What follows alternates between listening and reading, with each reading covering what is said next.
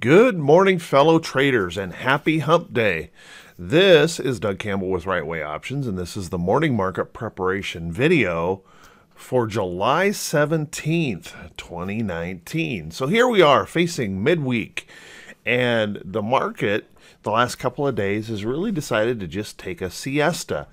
Um, two very small spinning top doji or doji candles here, uh, very small price action um, really light chop back and forth.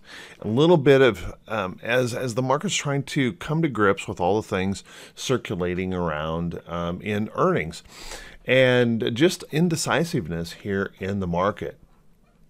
Um, if we take a look at what's going on here, you can see we're clearly in a trend. Our trend is clearly up, and, and a little bit of rest is is not um, any way, shape, or form any bearish um, look to the market. As a matter of fact, it would show considerable strength after such a amazingly strong run. No one wants to sell. There clearly there's not much energy here to to sell this market. So with this trend out here, we want to think about the the possibility that we could consolidate all the way over to the trend before we have that opportunity to move higher we should also consider the possibility that we could eventually pull back to the trend, trying to seek a new level of support before that possibility of moving higher.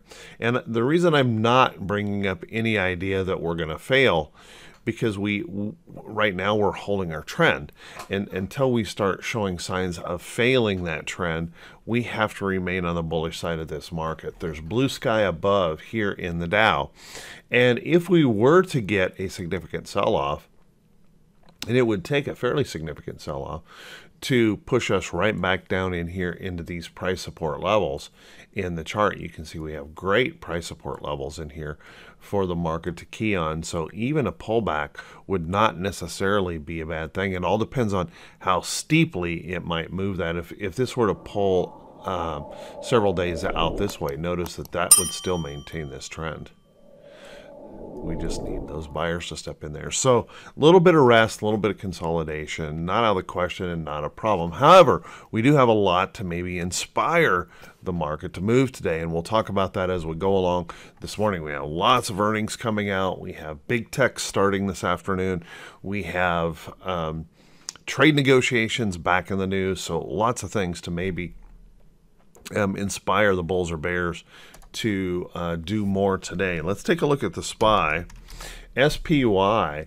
Now, SPY didn't hold up as well, uh, pulling back here just a little bit, showing a little bit of resting going on in the market, um, and a little bit of profit taking coming in um, yesterday in the SPY. But let's take a look. Our trend, our trend overall, and by the way, I'm kind of kicking this part out as you can see, because if I draw a trend up here, look how concise that is. This was just what oversold and then um, crazy rally when we had ideas of a rate cut. So as you can see, um, this little resting pullback in here is really nothing wrong with this trend. There's nothing here that would suggest bearishness as of yet. And this little bit of resting pullback really is not a problem as long as it doesn't get too excessive.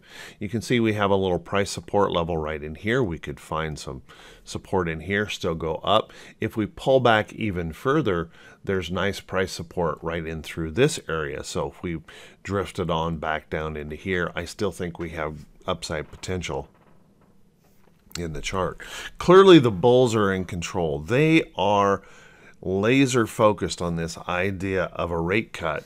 Even though um, the president came out uh, talking about um, a real tough road ahead for trade negotiations with China, um, that they're a long ways off and also uh, tossing out there for good measure that he's willing to do another $325 billion in tariffs.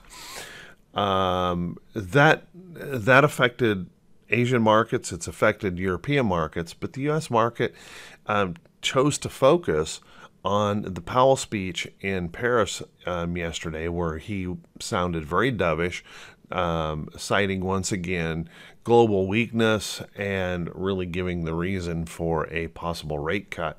So the um, U.S. market seems to be more interested in that than anything else right now and um, holding this market pretty darn bullish. So let's kind of keep that in mind. If we take a look at the Qs, Qs holding up very, very well. And once again, we have this nice trend holding up in this chart. Now we have a little bit more concern here with the Qs because the Qs don't have quite as much room to be able to uh, drift lower before we could be in trouble. Here's that breakout high for all-time highs. And as long as we stay above there, I think we're in great shape. If we could go sideways in here, we could pull back, we could really even just consolidate. And I think we're perfectly fine in here. Um, what we don't want to see is we don't want to see a failure of that support level. A push down through here could create some problems. Just with um, confidence in the market if we drop back below that um, uh, that record high breakout area. So watch that support area. But right now, there's nothing in this chart that suggests that's going to happen.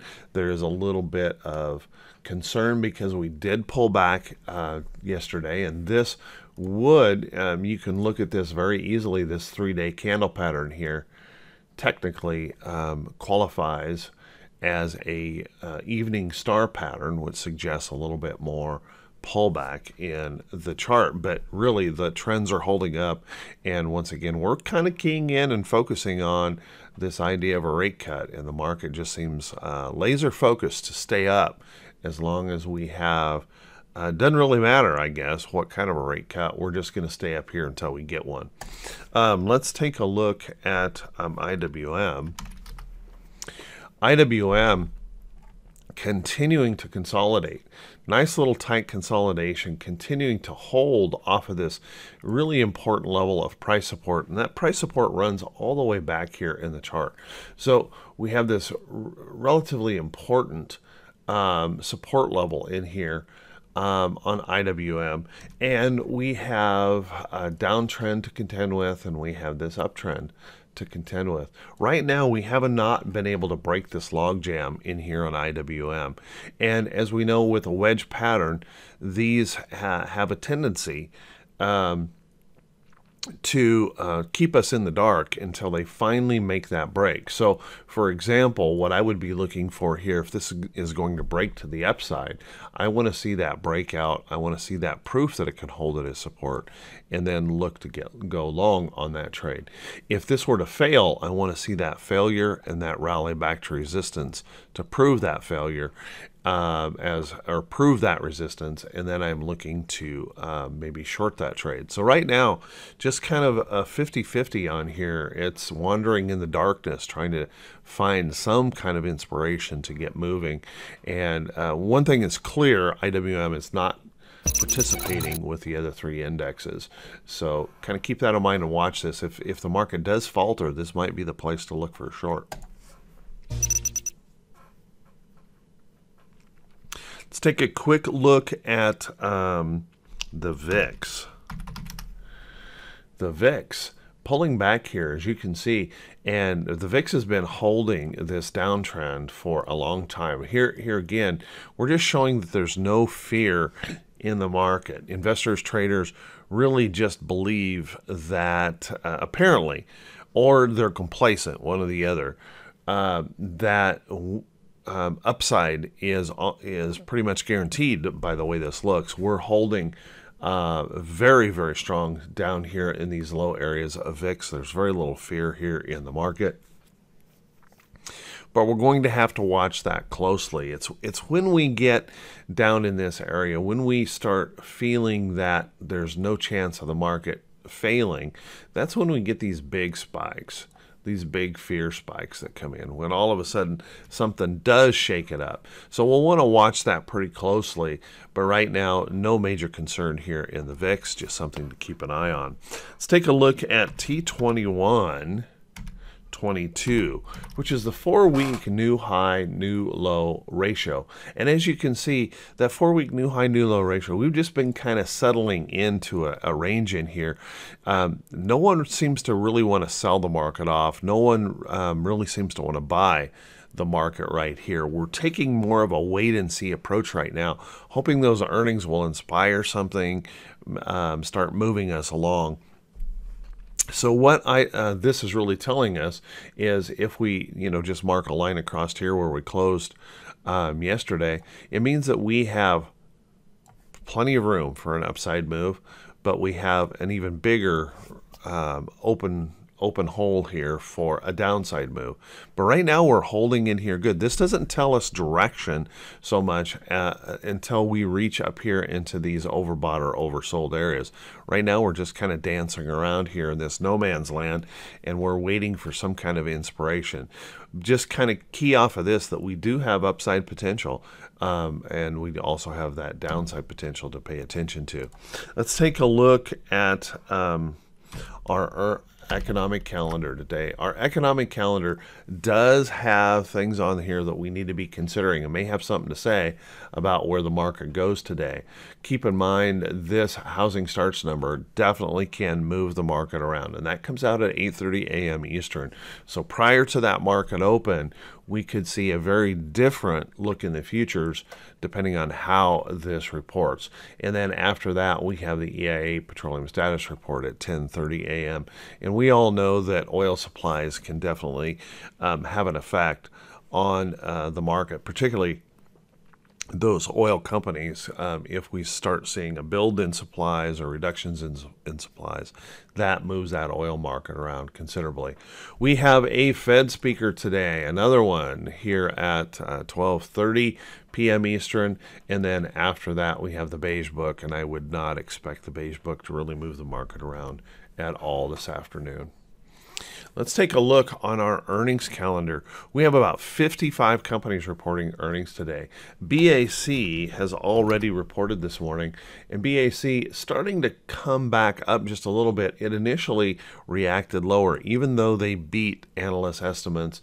Um, um, on their report, just kind of um, a muted look this morning um, on that report.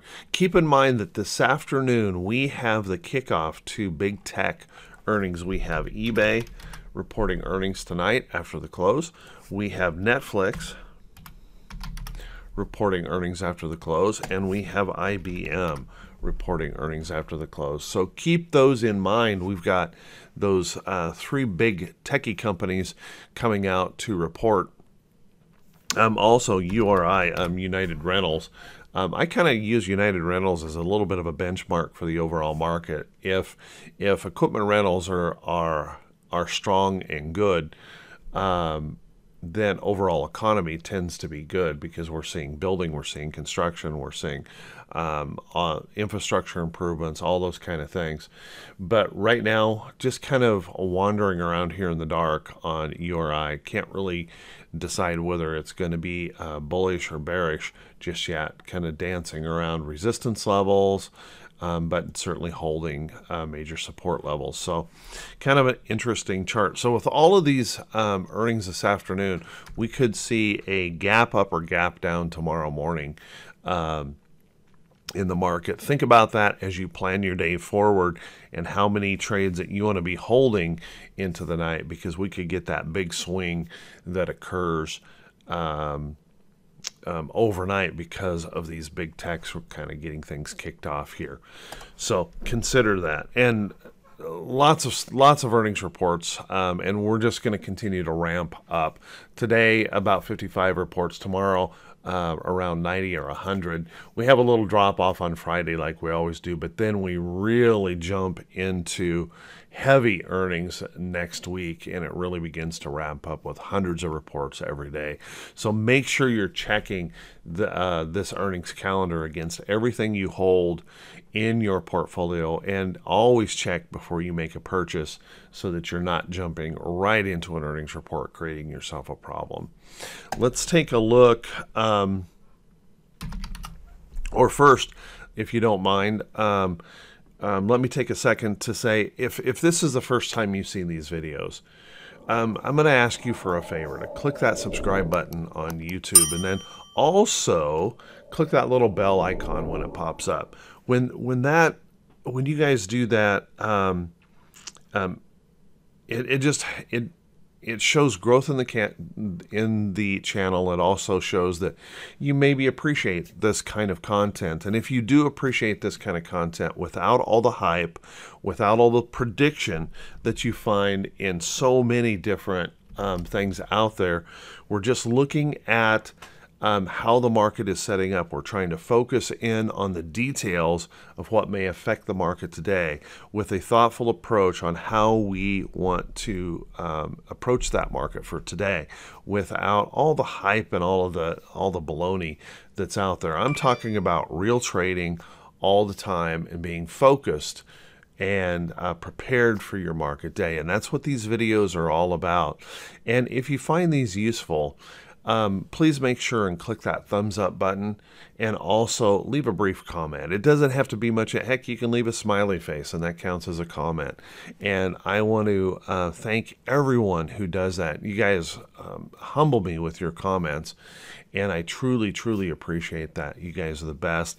You are responsible for the growth because um, the algorithms, every time you click that thumbs up button, every time you um, leave those comments, uh, it makes an impact on those algorithms to show these videos to more people. So I thank you much for that. You guys are the best. Also, please feel free to share these videos with any friends, family um, out there. Um, I truly, truly appreciate it. So with that, everyone, let's take a look at some charts that could be setting up, charts that are looking pretty good overall in a trade. Take a look at MetLife. MET, MetLife. MetLife finished yesterday with kind of a hammer pattern. That requires, for me, a hammer pattern is not a bullish signal until we get a follow through. I need buyers to follow through and push that higher. What I do like about MetLife is this nice little tight consolidation in here. And you can see how we had that similar type pattern right in here, that little consolidating move before we moved on higher. Will that follow through this time? Honestly, I can't tell you. I can tell you that I can wait for it though. And if I do get that push higher, I may be looking at a position in MetLife, but let's keep an eye on that. By the way, any charts that I show in here are not a recommendation to buy or sell anything. They are meant simply as um, uh, as, as a study chart, a, a watch list chart, something for you to evaluate and take a look at. Take um, with that in mind, take a peek at Procter and Gamble. Procter and Gamble has been a very very strong performer here, just going up and up and up in this trend.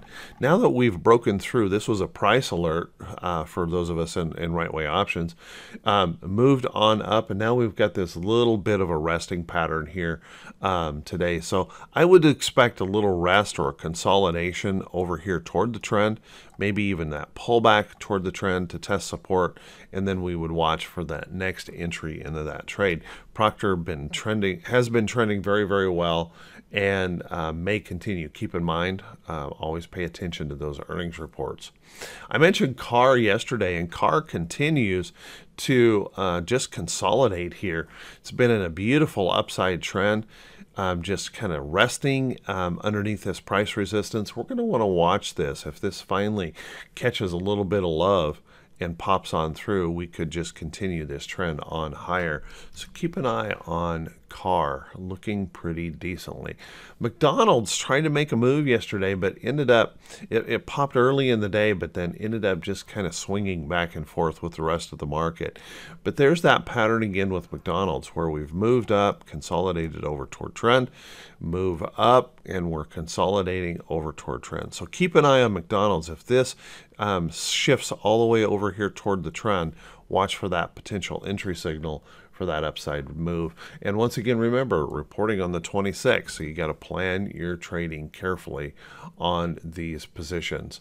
Take a look at JP Morgan yesterday. JP Morgan disappointed investors uh, first off after their earnings report yesterday, dropping, uh, gapping down into here.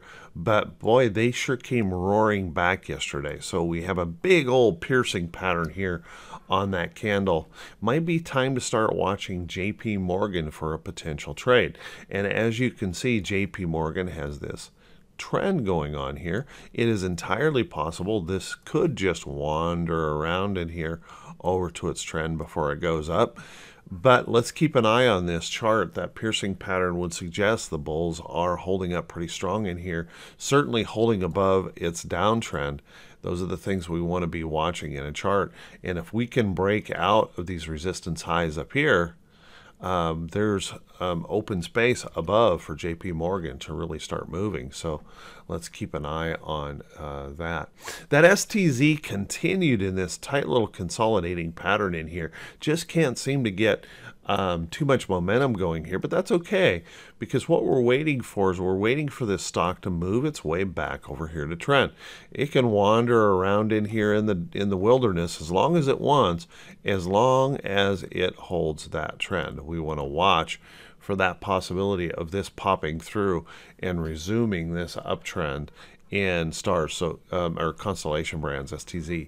So keep an eye on that. Looking pretty decent here overall lots and lots of charts to maybe be putting on your list and considering.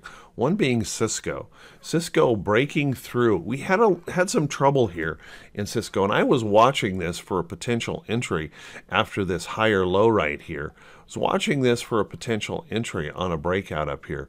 But instead, what happened, we, we, we tried that break, and then we sold it all off and broke back down below this support. So my rule is you break support, the stock must reclaim that support and hold it before I'm going to be interested in buying. So we finally broke back above, broke back above that resistance area. Now we're going to come back and test and see if that is support.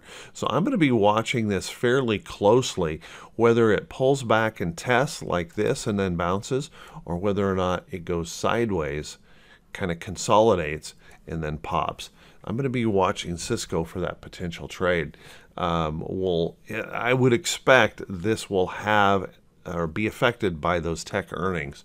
So kind of keep an eye on that. We don't know which way that might go, but uh, definitely worth keeping an eye on. A couple other trades to bring your attention to. Uh, TPX, TPX, beautiful chart. Been trending, trending, trending, um, popping on through this breakout here, pulling back, showing buyer stepping in here at support and trend, there could be um, a, a, nice entry here in TPX for this to move on higher. So keep an eye on that. And also remember, reporting on the 25th. So you have to consider that in your trades. And last but not least, Best Buy, BBY. BBY has just been moving up nicely in this trend, breaking through these highs here and now proving to hold yesterday, kind of holding that as support. Any kind of rest or consolidation that moves over here toward the trend could be an opportunity to maybe pick up um, a position in there. So watch BBY closely. With that, everyone, hey, I want to wish you all a fantastic day, and I want to wish you great profits. Hey, by the way, if you if this is the first time you've seen these videos, please make sure and click that subscribe button and click those thumbs up buttons and leave a comment. Thank you so much to everyone who does that. I want to wish you all a great day, and I want to wish you great profits, and we'll talk to you all bright and early Thursday morning. Have a great day.